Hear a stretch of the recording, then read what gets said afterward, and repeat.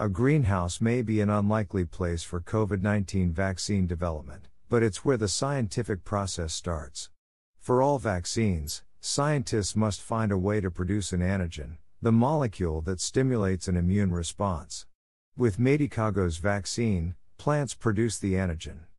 Robert Kozak, PhD, an assistant professor at the University of Toronto's Department of Laboratory Medicine and Pathobiology, who is not involved in Medicago's vaccine, tells Verywell that the plant used in the vaccine is very susceptible to different pathogens like bacteria and viruses.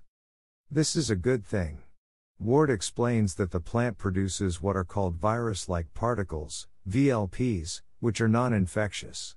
This process starts when a little bit of DNA is inserted into the plant cell to produce proteins.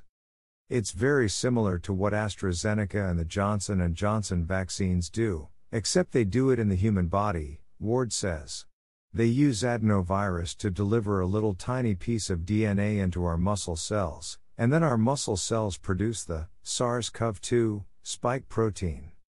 With the plant based vaccine, once the DNA is injected into the plant cell, the spike proteins move to the surface where they form VLPs. They don't contain any genetic information, so they can't replicate and they're non infectious, Ward says. We purify those little virus like particles, VLPs, and we inject it into your muscle with something that helps to stimulate the immune response, Ward adds. These VLPs are basically the empty shell of COVID 19, Kozak explains, which can present more antigens to your immune system.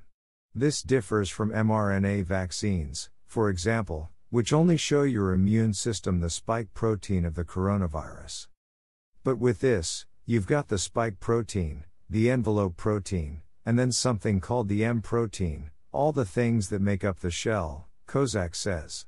That's actually kind of helpful because it's probably more likely to build a more robust immune response.